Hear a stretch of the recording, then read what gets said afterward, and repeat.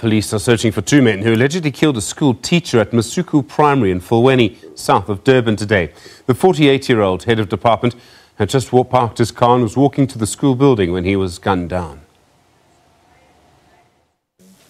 A murder in full view of learners and teachers. One of two suspects entered the school premises around 9 this morning. Sbonakaliso Nyawose was walking down a corridor. The suspect threw a firearm and shot and killed him. Teaching and learning was suspended for the day. Nyawose's family was amongst the first to arrive after the killing.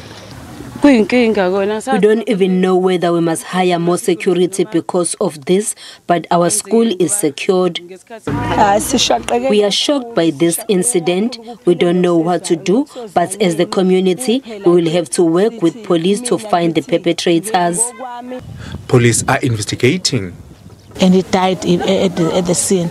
And the same suspect fled, ran away towards the gate, and it was discovered that there was another suspect who was waiting for him, and they fled uh, on foot towards a vehicle which was waiting for, for, for both of them.